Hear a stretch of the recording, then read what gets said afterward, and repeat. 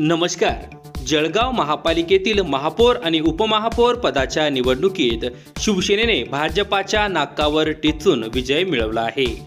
या निवडणुकीपूर्वी भाजपाच्या सत्तावीस नगरसेवकांनी बंडखोरी केली होती. त्यामुळे शिवसेनेने अपेक्षेप्रमाणे विजय संपादित केला आहे.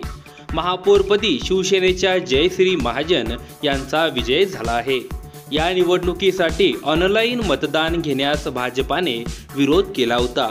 महापौर पदासाठी प्रत्यक्ष मतदान व्हावे असा आग्रह धरत भाजपाने न्यायालयात धाव घेतली होती. मात्र उच्च न्यायालयाच्या औरंगाबाद खंडपीठाने ही याचिका फेटाळून लावली. ऑनलाईन मतदानाला सुरुवात झाल्यानंतर शिवसेनेने सुरुवातीपासूनच आघाडी घेतली आणि शेवटी शिवसेनेच्या उमेदवार जयश्री महाजन यांचा पंधरा मतांनी विजय झाला. दरम्यान विरोधी पक्षनेते देवेंद्र फडणवीस यांनी भाजपाचे नेते गिरीश महाजन यांच्याकडे महापालिकेची जबाबदारी सोपवली होती.